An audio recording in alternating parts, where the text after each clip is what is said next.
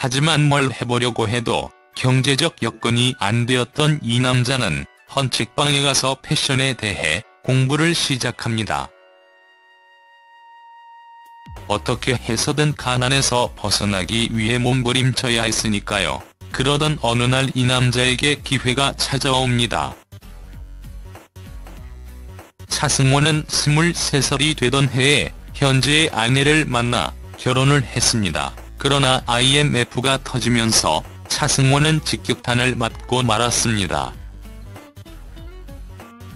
수많은 업체들이 부도가 나면서 모델로 설 수 있는 일자리가 줄어들고 만 것입니다. 하지만 적은 모델료로 지하 색방에서 힘들게 살아가던 차승원은 무엇이라도 해야 가족이 먹고 살 수 있었으니까요.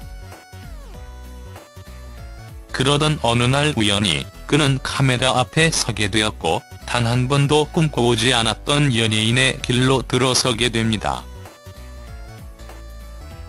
가족의 생계를 위해 일단 배우의 길로 들어섰지만 그렇게 4년간을 무명으로 힘겨운 시간을 보내던 차승원에게 최고의 기회가 찾아오게 됩니다.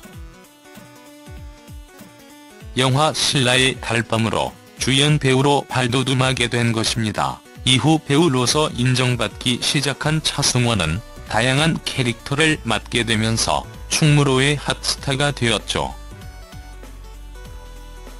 그리고 드라마 아테나 전쟁의 여신과 최고의 사랑에서 인기 절정의 연기를 펼치며 명실상부한 톱스타가 되었습니다. 아들 찬화가 여러 사건에 휘말린 것도 모자라 찬화, 친부가 소송을 제기했기 때문입니다. 당시 찬호와 친부는 차승원이 친부 행세를 하며 자신의 명의가 훼손되었다며 1억 원을 요구했고 결국 이 때문에 감춰졌던 차승원의 가정사가 모두 드러나고 말았죠. 그동안 대중들은 찬호아가 차승원의 친아들인 줄 알았는데 그거 아님에 충격받았지만 그동안 차승원이 결혼 시기를 23살이 아닌 20살에 결혼했다며 공식적으로 알려왔던 이유가 다 여기에 있었으니까요. 특히 차승원은 친부 소송이 제기된 후 아들 찬화가 본인이 친부가 아닌 걸 알게 될까봐 1억을 주고 해당 사건을 조용히 넘기려 했지만 언론에 알려지면서 모든 게 틀어지고 말았다고 합니다. 결국 지금은 이 모든 일이 잘 해결되어 가족이 함께 잘 살고는 있지만 당시 미혼모였던 아내와 결혼해 가슴으로 낳은 아들을 위해 그렇게 다시 어렵고 힘든 시기를 보낸 차승원은 다시 시청자 곁으로 돌아왔습니다.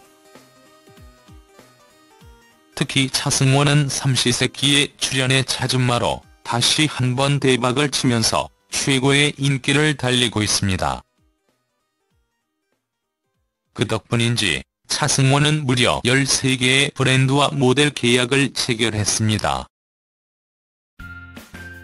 그리고 tvN 명단 공개에 따르면 차승원의 올해 수익만 100억에 육박하다고 합니다.